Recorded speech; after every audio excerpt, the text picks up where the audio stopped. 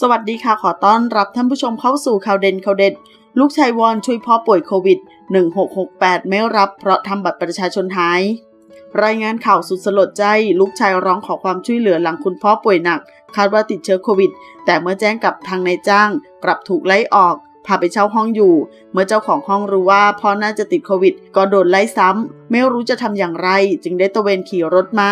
จนมาเจอเต็นท์ร้าง จึงได้พาคุณพ่อมานั่นพักในเต็นท์แห่งนี้ ทางนี้ประสานหน่วยงานต่างๆ ก็ยังไม่ยอมเข้ารับการรักษา เนื่องจากคุณพ่อทำบัตรประชาชนหาย ต้องไปทำบัตรใหม่ก่อนเท่านั้น ตอนนี้ก็ไม่รู้จะทำอย่างไร เพราะทุกที่ยืนยันต้องมีบัตรประชาชน โดยวันที่ 24 กรกฎาคมลูกชายเล่าว่า ได้ประสานไปยังโรงพยาบาลตามสิทธิ์บัตรทองแต่โรงพยาบาลแจ้งว่าไม่รับตรวจเชื้อโควิด จากนั้นจึงประสานไปยังสายด่วนสปสช 1330 สายด่วนสถาบันการแพทย์ฉุกเฉินแห่งชาติ 1669 สายด่วนกรมควบคุมโรค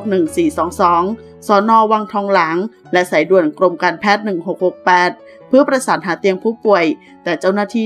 1668 แจ้งว่าไม่สามารถรับผู้ป่วยได้ เนื่องจากไม่มีบัตรประชาชน ก่อนหน้านี้เมื่อวันที่ 23 กรกฎาคม ลูกชายได้ประสานไปยังสำนักงานเขตห้วยขวาง และแจ้งว่าพ่ออาศัยอยู่ในเขตพื้นที่ ขณะนี้ป่วยโควิดไม่มีเตียงรักษา ไม่มีที่อยู่อาศัย และต้องการติดต่อขอทำบัตรประชาชน แต่สำนักงานเขตห้วยขวาง แนะนำว่า ให้ติดต่อไปยังสำนักงานเขตคลองสามว่า ตามภูมิลำเนาของบิดา ทว่าไม่เพียงแค่นั้น เมื่อติดต่อไปยังสำนักงานเขตคลองสามวาตามคำแนะนำ เจ้าหน้าที่แจ้งว่าบิดาต้องได้รับการตรวจเชื้อโควิด และได้รับการรักษาก่อน และพาคุณพ่อมายืนยันตัวตนกับทางเจ้าหน้าที่ จึงจะสามารถดำเนินการทำบัตรประชาชนได้ แต่ลูกชายบอกว่าคุณพ่อนอนแทบลุกไม่ไหว